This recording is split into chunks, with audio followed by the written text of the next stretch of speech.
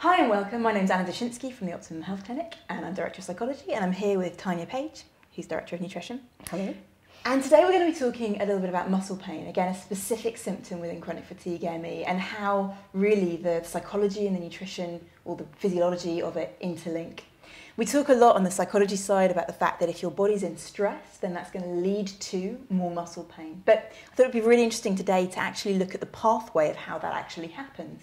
So, how does the fight flight response, how does being in that stress state literally equate to ending up with muscle pain? So, I guess there are a couple of things that we could talk about. The first is that if you're in extreme stress, very often it makes a big impact on how you're breathing. And I know that that's something that can have a direct impact, a kind of short term impact. So, can you tell me a bit more about that? What, what do we mean there? Well, the main, the main symptom that, that we see that, that connects with this is, is Yeah. hyperventilation. So, Yeah. where you're over breathing. So, you Yeah. tend to breathe in more than you breathe out. Which is, of course, when you're breathing quite fast and quite shallow breathing. Yeah, which is linked to stress. Yeah. Yeah.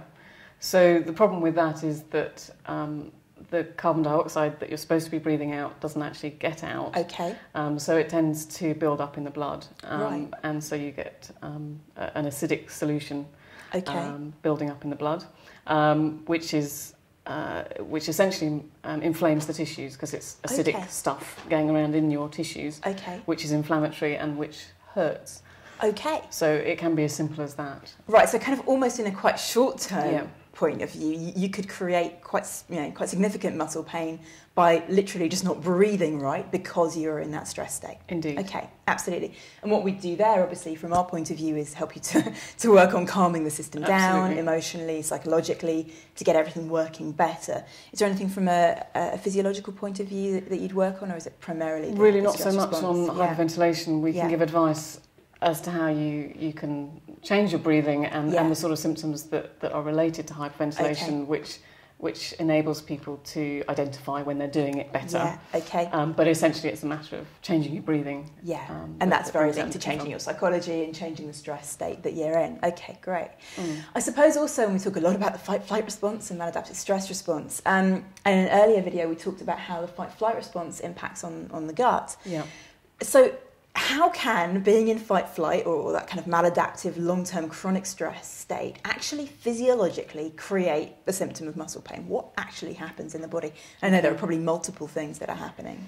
Yeah, essentially, one of the main reasons for, for muscle pain um, is mitochondrial dysfunction. Okay, The main reason being that um, the mitochondria, which are the little things that produce energy in Yeah. your cells, yeah, there's a lot more of them in muscle cells than there are in, Okay. in other parts. The brain is, is well, um, well supplied as well, but the muscles are the other big area. okay, So when the mitochondria start to fail, you Yeah. tend to feel it more in, in muscles than anything else. Okay. So it's And I know that we've talked in, in previous videos a little more about mitochondria, maybe a little Yeah. more specifically, but in terms of how the fight flight stress response, again, if we're talking about anxiety, emotional Mm. stress, how do we get from that to mitochondrial dysfunction or, or, or malfunction? Yeah, as you say, there are a lot of there are a lot of ways of getting to mitochondrial Yeah. dysfunction, and we have talked a lot about that in other in other situations. Yeah. But um, one of the, the basic things is that we know from from um, previous videos that Yeah. the fight or flight um, response causes um, digestive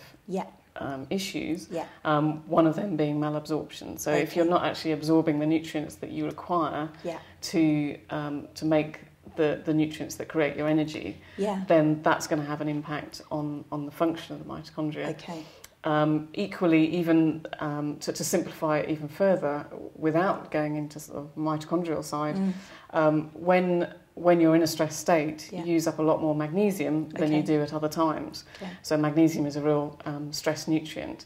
Magnesium, as some people will know in treatment, is one of the major parts of the energy cycle. Mm. And without magnesium, the mitochondrial um, energy will not be produced. Okay, So, so the main reason is, is, is lack of nutrients coming into the system to get the, the mitochondria functioning. right.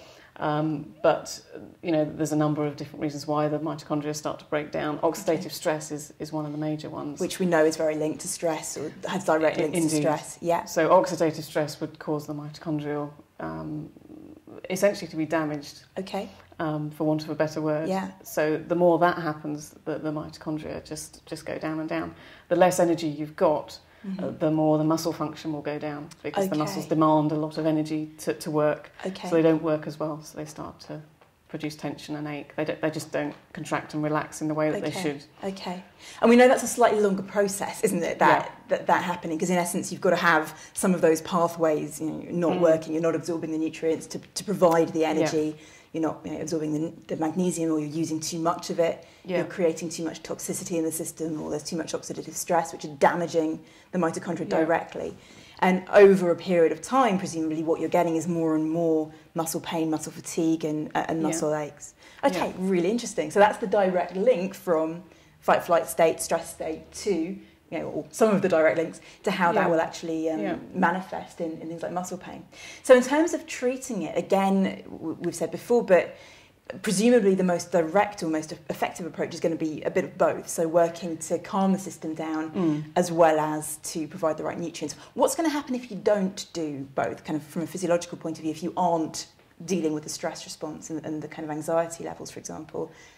Yeah, again, it, it, it's another case of you'd be firefighting and not, Okay. and not getting to the crux of the problem. Yeah. Um, and you'd almost be feeding the nutrients in as fast as they're being utilised to keep Okay. the stress um, process Okay. going. Okay. Um, Just feeding the stress cycle, basically. Yeah, okay, yeah. right. And obviously, you know, I would talk to a client about, Yeah, you know, if, if I think that is what's going on, Yeah. then there's obviously some of the nutrients we use for mitochondrial function, or, Yeah. or even the basic stuff to, to get the stress, you know, the, the system de-stressed Yeah. from a physiological point of view. yeah, Because one of the things we often use is magnesium. Yeah. Most people feel, especially with muscle pain, feel an awful lot better with yeah, magnesium because it just helps to relax the muscles. yeah, Um, and it's a very clear muscle relaxant. yeah. Um, so, so that's important. But if, if you know, I'm, I'm seeing a client and, and there's no change, given Yeah. that I'm putting an awful lot of, yeah. of nutrients in, it's actually a waste of money Yeah, uh, to be doing that and not, not treating the, the, the cause of the problem, which is the stress in the first place. So, absolutely. you know, obviously we would advise accordingly. Absolutely. If, we see that that's, if we see that's on. happening. And on our side, I know that you know we can we can make big changes by getting the system calmer, Yeah. and often that will make a big